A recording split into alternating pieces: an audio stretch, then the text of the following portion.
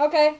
Um, hello YouTube. This is uh, one of our laboratories which we use now and then. Yeah, this is Um, our number one laboratory. And this time we, well, right now at the moment we're testing what we could do with Coca-Cola Zero.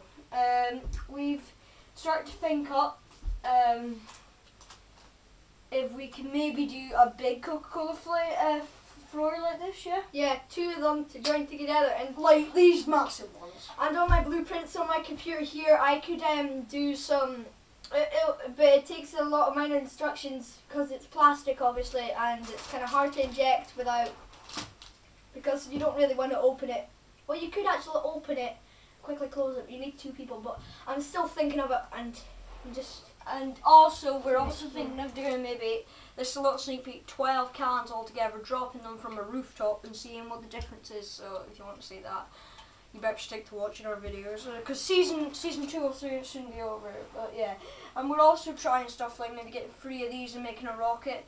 But the funniest one, what we're probably going to do is the one with the can. But we're also going to try a Coca-Cola floor with this. And uh, as you can see, we've got Mentos and soft mints, and we'll uh, be getting some poles and stuff in. So um.